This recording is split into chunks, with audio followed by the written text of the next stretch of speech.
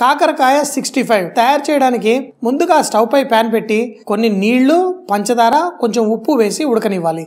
కాకరకాయ ముక్కలు కట్ చేసి దాంట్లో వేసి ఆ కాకరకాయలు దాంట్లో కుక్ చేయాలి. కుక్ అయిన తర్వాత అందులో నుంచి నీళ్ళంతా ఆవిరైపోయిన తర్వాత కాకరకాయలు తీసి ఒక ప్లేట్లో పెట్టుకోవాలి. ఇప్పుడు ఒక బౌల్లో సన్నగా తరిగిన కరివేపాకు అల్లము వెల్లుల్లి ముక్కలు మైదా పిండి బియ్యం పిండి ఉప్పు అలాగే మజ్జిగ వేసి చిక్కగా కలుపుకొని ఈ కాకరకాయ ముక్కలు అందులో వేసి దొల్లించాలి. ఒక ప్లేట్లో బియ్యం పిండి మైదా పిండి కారం ఉప్పు వేసిన దాంట్లో ఈ ముక్కలు తీసి చక్కగా దొల్లించి వేడి నూనెలో ఫ్రై చేసుకోవాలి. దీన్ని వేడివేడిగా తింటే చాలా కమ్మగా ఉంటుంది.